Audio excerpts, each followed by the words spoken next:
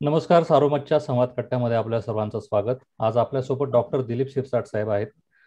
ते गेले काही महिने कोरोना रुग्णांवर उपचार करतायत आणि या सगळ्या संकटाशी प्रत्यक्ष मैदानात ते मुकाबला करतायत. आज त्यांच्याशी आपण संवाद साधणार आहोत. डॉक्टर साहेब चर्चेमध्ये स्वागत आहे. नमस्ते. आपल्याला पहिला प्रश्न असा असेल की मध्यंतरी करोनाची लाट ओसरल्यासारखी स्थिती होती. ती पुन्हा एकदा समोर आली आणि आपल्याकडे ग्रामीण भागामध्ये ती जास्त वाढल्याचं दिसते नेमकं कारण काय असावं? आता ही करोनाची दुसरी लाट सुरू झालेली आहे. ही पहिल्या लाटेपेक्षा भयंकर लाट मोठी आहे आणि झपाट्याने ही वाढत आहे. आणि याच्यामध्ये ही वाढायचं कारण म्हणजे लोक पहिली लाट संपल्यानंतर त्यांना वाटलं की आता करोना गेला. म्हणून ते बेफिकीर राहिले. बऱ्याच जणांनी मास्क लावायचं सोडून दिलं. गर्दीच्या ठिकाणी गेले आणि एक पेशंट झाला तर ही हे व्हायरस रिप्लिकेशन जास्त असल्यामुळं हे पसरत गेलं झपाट्याने. आणि पहिल्या लाटेपेक्षा हा व्हायरस फार झपाट्याने पसरतोय असं दिसून आलेलं आहे. बाजार झाले लग्नाचे लग्न समारंभ गॅदरिंग यामुळं ग्रामीण भागात तो पोहोचला आणि लोकांनी काळजी न घेतल्यामुळं हा आजार आता फार शिगेला पोहोचलेला आहे. डॉक्टर साहेब ग्रामीण भागामध्ये एक अडचण अशी की तात्काळ आरोग्य सेवा उपलब्ध होत नाहीत. तर जे रुग्ण करोना बाधित संक्रमित म्हणून समोर येतात त्यांचे नातेवाईकही धास्तावलेले किंवा घाबरलेल्या अवस्थेत असतात. त्यांना तुम्ही नेमकं काय सांगाल? आता नातेवाईक जरी घाबरले असेल ना त्यांनी घाबरून जायचं काही कारण नाही. पहिलं आपलं मनोबल त्यांनी वाढवायला पाहिजे. समजा त्यांच्या घरात जर पेशंट जर असेल करोनाचा तर त्यांनी जे नातेवाईक आहेत तर त्या पेशंटला खरं तर आयसोलेट करायला पाहिजे डॉक्टरांकडे घेऊन जायला पाहिजे. तपासणी वगैरे करून त्याला हॉस्पिटलमध्ये ऍडमिट करायला पाहिजे. म्हणजे त्या घरातले जे लोक आहेत त्यांनी सुद्धा आपली स्वतःची R T P C R ही तपासणी करून घ्यायला पाहिजे. आणि आपल्या जवळच्या नजदीकच्या डॉक्टरकडे जाऊन आपल्याला होणार नाही याची काळजी त्यांनी घ्यायला पाहिजे. तसंच घरात सुद्धा आणि बाहेर सुद्धा त्यांनी काळजी मास्क लावणे गरजेच्या ठिकाणी गेल्यावर डबल मास्क लावणे स्वच्छ हात धुणे आणि सोशल डिस्टन्सिंग ठेवणं हे त्यांनी सुरुवातीपासूनच पाळायला पाहिजे. पण आपल्या घरात जर पेशंट जर असेल तर त्याला लवकर डॉक्टरांकडे घेऊन त्याला विलगीकरण त्याचं करायला पाहिजे. जेणेकरून का आपल्याला होणार नाही? आणि त्याने स्वतः त्याची R T P C R प्रत्येकाने त्यांची करायला पाहिजे. डॉक्टर साहेब आपण श्रीरामपूर शहरामधून शेकडो कोविड बाधित रुग्णांना सल्ला देत आहेत त्यांच्यावर उपचार करतायत. एक या सगळ्या वातावरणात पेशंट किंवा त्यांचे नातेवाईक यांच्या काही चुकीच्या सवयी किंवा काही निग्लिजन्स काही दुर्लक्ष असं काही आढळून येतंय? हो येतंय ना. बरेच लोक म्हणतात का मला काही होत नाही. मग मी कशाला मास्क वापरू? किंवा ते काळजीच घेत नाही. हात धुणे हे आपली पहिल्यापासून जी प्रथा आहे ते पाळत नाही. मास्क न लावणे गर्दीच्या ठिकाणी जाणं बेफिकर राहणे मला काही होत नाही. मला एकदा होऊन गेला मग आता परत कसं होणार? अशी ते स्वतःबद्दल आत्मविश्वास बऱ्याच लोकांना आहे. आणि त्यामुळे सुद्धा हा करोना जास्त फैलावत आहे.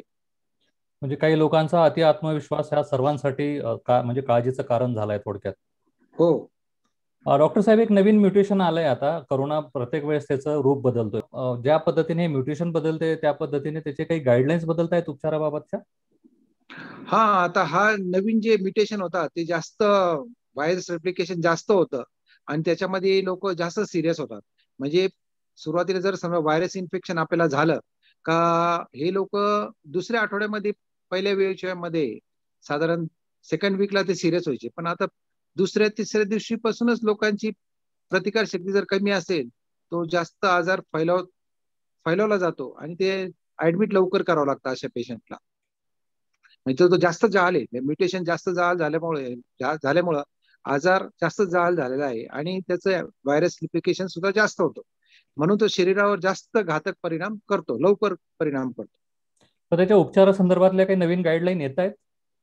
नाही आता सुरुवातीला आता असं आहे व्हायरस असं आहे आता त्याचे फेजेस असतात सुरुवातीला व्हायरस जर आपल्या कुडून शिरतो तो नाकातून किंवा तोंडातून जातो तो तो पहिलं रेस्पिरेटरी ट्रॅक्ट इन्फेक्शन वरच लेवलला तो व्हायरस खेळत असतो. आणि त्याच्यामध्ये मग सुरुवातीचे एक दोन दिवस आपल्याला सर्दी पडस घशात खवखो होणे असे तीन चार दिवस चालतात तीन दिवस चालतो.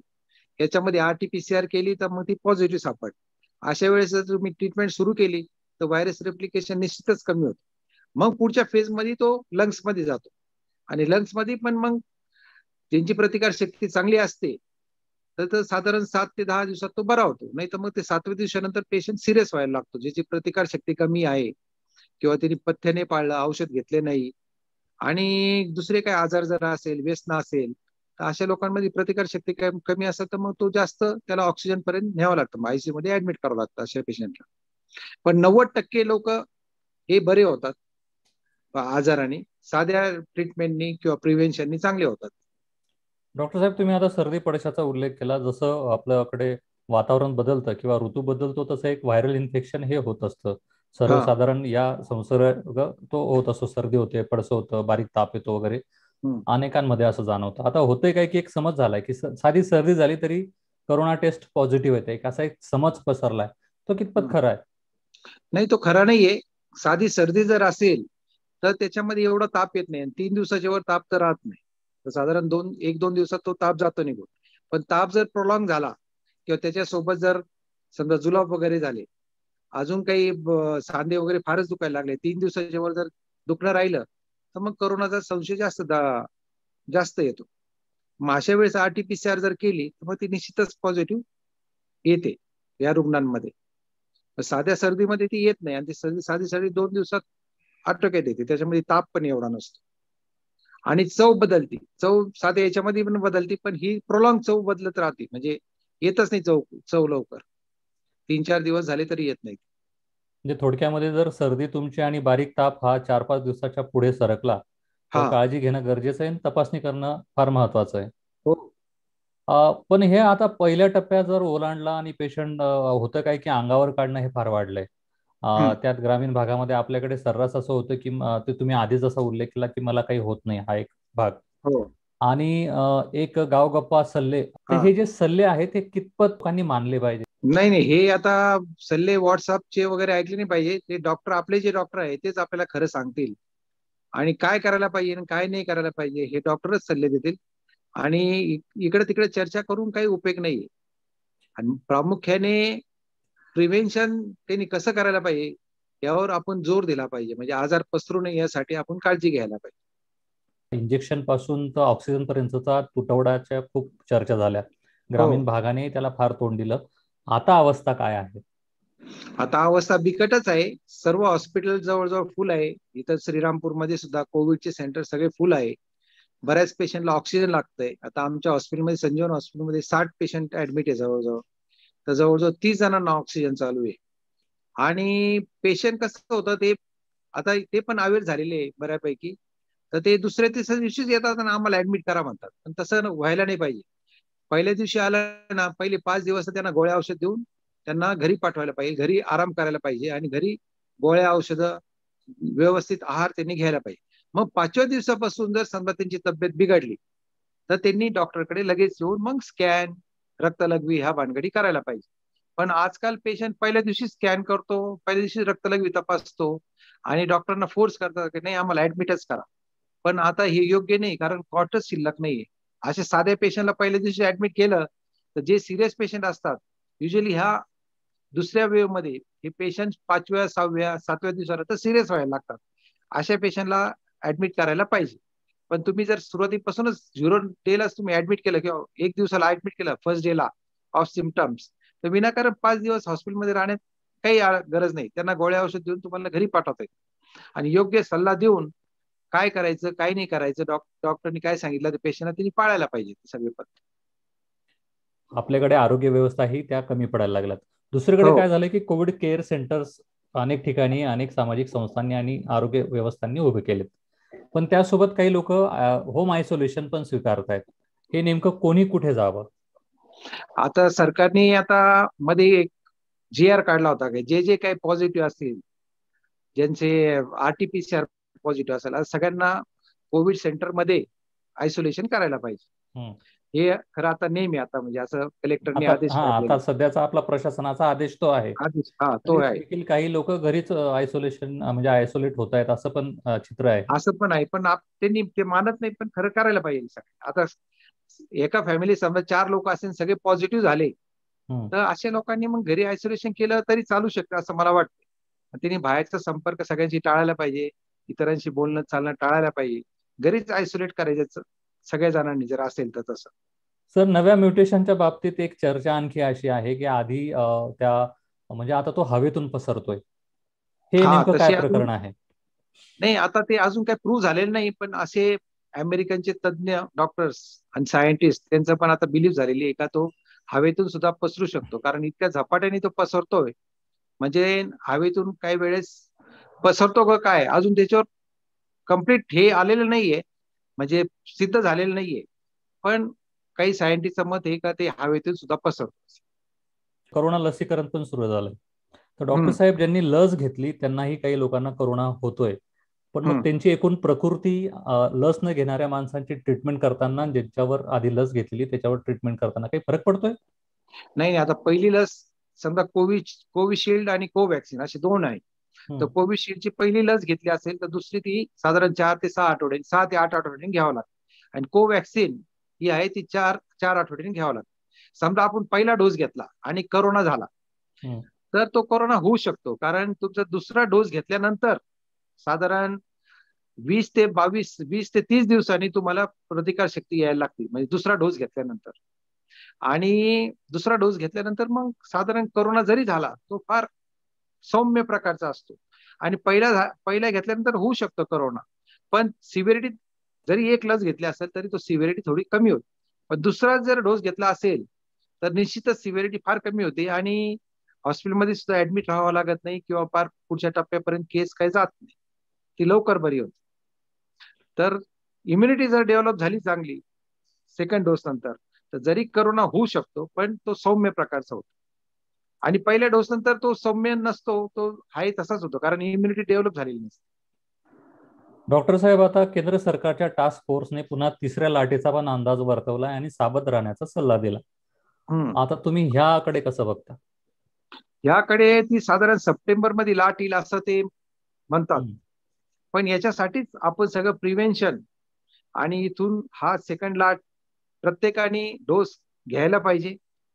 आणि जे डोस जर घेतले त्यांनी तर निश्चितच त्यांची दोन महिन्यामध्ये समजा आजचा डोस घेतला चार महिने चार आठवडे दुसरा डोस घेतला. त्याच्यावर एक वीस दिवसांनी प्रतिकार शक्ती प्रत्येकाची डेव्हलप होते. आणि तो कोरोना मग पसरणार नाही. तसंच हर्ड इम्युनिटी म्हणजे आता बऱ्याच लोकांना करोना झाला त्यांना हर्ड इम्युनिटी आलेली असते. म्हणजे साधारण तीन महिने चार महिने ते अँटीबॉडीज त्यांच्या शरीरात डेव्हलप होतात.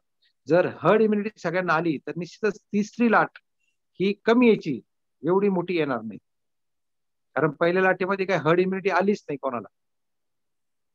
तर सेकंड लाटेमध्ये जर आली आणि वॅक्सिन जर घेतलं सगळ्यांनी तर निश्चितच ही थर्ड लाट सौम्य असेल. जास्त काही सिरियस नसणार. डॉक्टर साहेब दुसऱ्या लाटेने अनेक धडे शिकवले आपल्याला. आपण पहिल्या लाटेनंतर फार निर्धार झालो होतो आता आपल्याकडे कोरोना फार शिल्लक नाही असा समज आपण करून घेतला होता. पण आता दुसऱ्या लाटेने आपल्याला एवढं सावध केले की तिसरी लाट येणार म्हटल्यावर आपल्याला अनेक सुविधा उभाराव्या लागतील. तुम्हाला काय वाटतं तेवढ्या वेगाने सरकारी यंत्रणा किंवा ज्या काही व्यवस्था आहेत त्या उभारल्या जातील पुढची लाट येईपर्यंत? नाही शक्यता कमीच आहे. कारण ह्याच लाटेमध्ये ऑक्सिजनचा बराच प्रॉब्लेम आला. ऑक्सिजन प्लांट ऐन वेळेस उभा करावा लागले. हॉस्पिटल बेड्स बेड्स नव्हते. आता हॉटेलचे कन्व्हर्जन हॉस्पिटल बेड्समध्ये करावं लागलं. तर पण तिसरी लाट जर सौम्य असेल तर ही आता जी केलेली आपण जी आहे एवढी तर एवढी पुरेशी होऊन जाईल म्हणजे. फक्त ऑक्सिजनचा आपला प्लांट आणि रेमडेसिवीरचे इंजेक्शन जे उपलब्ध नाही तर सरकारने पण गाफील राहू नये. हे इंजेक्शन प्रोडक्शन वगैरे चालूच ठेवा. कारण सेकंड लाट कधी येणार हे माहीत नव्हतं आणि इंजेक्शन प्रोडक्शन बरंच कमी झालं आणि बरेच आपलं निर्यात झाली परदेशात. म्हणून आपल्या रेमडेसिवीरचा तुटवडा येत आहे आणि प्रोडक्शन पण कमी होत आहे. आता कुठं मुळं आमच्याकडे साठ पेशंट आहेत आम्हाला सात ते आठ इंजेक्शन मिळतात फक्त.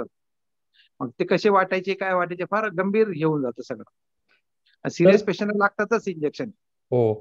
डॉक्टर साहेब स्टेरॉइड वापरा बाबतही अनेक चर्चा सुरू आहेत. म्हणजे ते रेमडेसिवीर वापरावं नाही वापरावं किती वापरावं कोणाला वापरावं?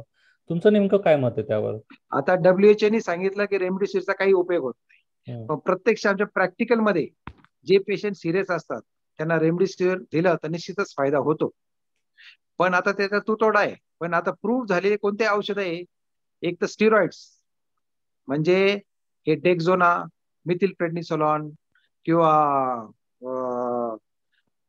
अजून प्रेडनिसोलॉनच्या गोळ्या त्याचा निश्चितच फायदा झालेला आहे. ते जी आपली ही सायटोकाईन्स असतात बॉडीमध्ये त्याची वेव जी होती तर ती कमी करण्यासाठी याचा निश्चितच उपयोग होतो. आणि दुसरं म्हणजे जे ब्लड थिनर्स आहे म्हणजे एकोस्प्रिनची गोळी टिस्प्रिनची गोळी किंवा लो मॉलिक्युलर वेट हिपॅरिन ज्यांनी गेठोळ्या निर्माण होत नाही हे निश्चितच दोन तीन असे हे आहे त्याचा निश्चितच फायदा होतो. म्हणजे स्टिरॉइड्स पहिल्या लगेच पेशंटला झाले झाले स्टिरॉइडचा काही उपयोग होत नाही. उलट ते डेंजरस असतात. पण सेकंड वीकमध्ये ज्यांचा ऑक्सिजन कमी होतो ज्यांना ऑक्सिजन लागतो आणि ज्याच्यामध्ये सायटोकाईन स्टॉम जास्त प्रमाणात आहे अशांना स्टिरॉइडचे इंजेक्शन आम्ही देतो. किंवा स्टिरॉइडच्या गोळ्या काही दिवस द्यावा लागतात. तर निश्चितच त्याचा फायदा आहे. हे स्टिरॉइड्स आणि ब्लड थिनर्स हेच प्रूव्ह झालेले आहे ट्रीटमेंटमध्ये आणि ऑक्सिजन पहिलं ऑक्सिजन ऑक्सिजन ऑक्सिजन दुसरे स्टिरॉइड्स आणि तिसरे ब्लड थिनर्स हे वापरले जातात. एकूण प्रशासन आणि सरकार किंवा आरोग्य यंत्रणेच्या मदतीला नागरिकांनी सहकार्य करावं असं आपण सर्वजण आवाहन करत आहोत. तुम्ही नगर जिल्ह्यातील आपल्या नागरिकांना नेमका काय संदेश द्याल? संदेश माझा असा राहील का प्रत्येकाने काळजी घ्यायला पाहिजे. तुम्ही जर काळजी जर घेतली तर तुमच्या घरात करोना पसरणार नाही. समजा तुम्हाला घरी जा बाहेर जायचं असेल तर फार गरज असली तरच जा. शक्यतो गर्दीच्या ठिकाणी जायचं असेल तर डबल मास्क वापरा. त्यात सर्जिकल मास्क आणि एन नाईन्टी फायचा मास्क वापरा हे दोन मास्क गर्दीच्या ठिकाणी. हे झालं नंबर एक. नंबर दोन तुम्ही बाहेरून आला तर तुमचे हात तोंड स्वच्छ पाण्याने धुवायला पाहिजे. इकडे तिकडे कुठं तुमचा हात लागला तर तो स्वच्छ धुवायला पाहिजे. जेवणाच्या अगोदर स्वच्छ हात धुवायला पाहिजे. नंबर तीन सोशल डिस्टन्सिंग हे करायलाच पाहिजे. सहा फुटाचं अंतर ठेवून आपण एकमेकाशी बोलायला पाहिजे. नंबर चार अननेसेसरी ठिकाणी गर्दी किंवा कार्यक्रमाला जाणं टाळलं पाहिजे. आणि जर तुम्हाला जर डाऊट जर असेल तर त्वरितच आपण आपली तपासणी करून घ्यायला पाहिजे. आणि जर आपल्या शेजाऱ्याला किंवा आपल्या घरात कोणी पेशंट जर असेल तर तुम्हाला होऊ नये याची तुम्ही काळजी घ्यायला पाहिजे. डॉक्टरांकडे जाऊन R T P C R तपासणी करून जे प्रथम औषध असतील हे आपण सगळ्यांनी सुरू करायला पाहिजे जेणेकरून तुम्हाला पुढे करोना होणार prevention is better than cure म्हणून आपण प्रिव्हेन्शन हे घेतलंच पाहिजे प्रत्येकाने. प्रत्येकाने जर काळजी घेतली तर निश्चितच हा आजार आटोक्यात राहू शकतो. प्रेक्षकांनो डॉक्टर सिरसाट सरांनी आपल्याला अनेक महत्त्वाचे सल्ले दिलेले आहेत आणि काही काळजी सुद्धा आपण आपल्या स्तरावर घ्याव्यात म्हणून मार्गदर्शन केलं आहे. डॉक्टर साहेब सार्वमत संवाद कट्ट्यामध्ये आपण सहभागी झालात त्याबद्दल आपले खूप खूप आभार. धन्यवाद. Thank you very much